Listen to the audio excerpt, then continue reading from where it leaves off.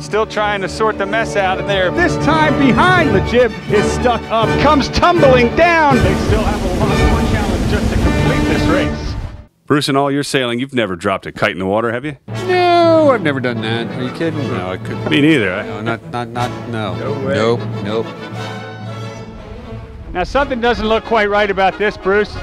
Big trouble for these guys. Big trouble for Jollymon. The kite went over the bow during the hoist. It's filling up with water. It could split in half right here. Here we go. Let's drag the kite in the water before we do a, a windward hoist while the helmsman jibes heading away from the course. Not sure whether they're pulling out Bubba Gump shrimp out of that spinnaker. Let's don't worry about sailing towards the finish line. Let's just drop the the. Mountain Lion Eater's got a lot of explaining to do. Gonna pull some fish up with that one. Now the crew's trying to pull it out. Now he's dead downwind with the main luffing in inside. Still working on pulling the kite up.